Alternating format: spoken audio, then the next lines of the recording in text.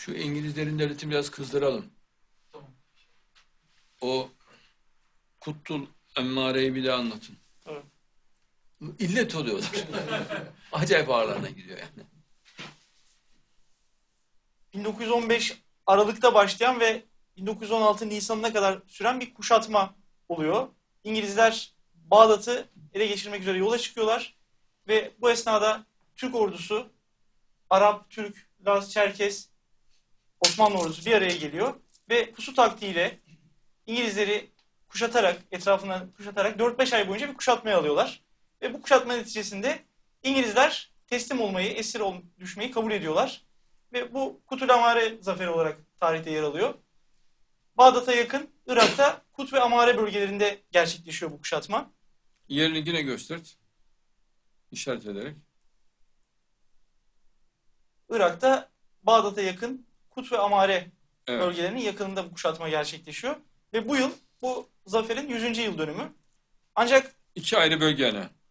Kut ve, Ve- Amare. ve Am Amare. Evet.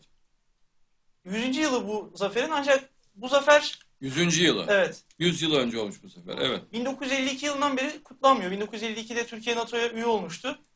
Bunun öncesinde e, savun Türk Silahlı Kuvvetleri Kut Bayramı olarak bu zaferi kutluyordu. Ancak sonrasında NATO'ya biz üye olduktan sonra İngilizler baskı kurmaya başladılar.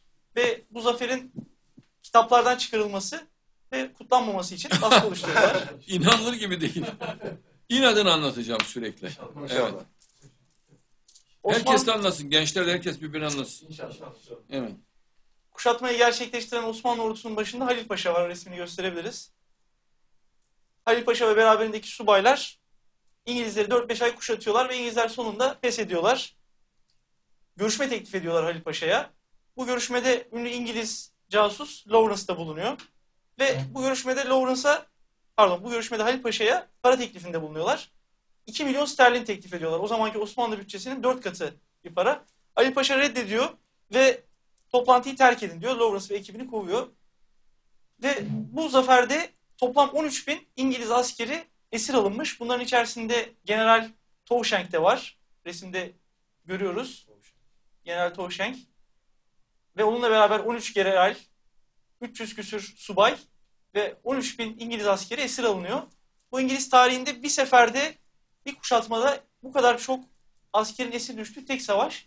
Hatta İngiliz askeri uzmanları bu yenilgilerini İngiltere tarihindeki en utanç verici olay olarak nitelendiriyorlar. Ali Paşa'nın zaferden sonra 6. Ordu'ya yayınladığı bir mesaj var. Bu mesajda da tarih bu olayı yazmak için kelime bulmakta müşkülata uğrayacaktır diyor. İşte Osmanlı sebatının İngiliz inadını kırdığı birinci zaferi Çanakkale'de, ikinci zaferi de burada görüyoruz. Biz de 10 bin şehit veriyoruz. Cepheden çeşitli görüntüler, Süvari Birliği, Osmanlı Süvari Birliği'ni görüyoruz. 10 bin şehide karşılık 23 binde İngiliz askeri hayatını kaybediyor.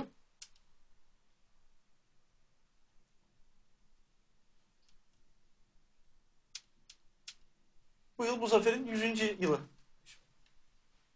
Evet. Tebrik ediyoruz aslanları. Akla bak ya. Duymak istemiyoruz diyor.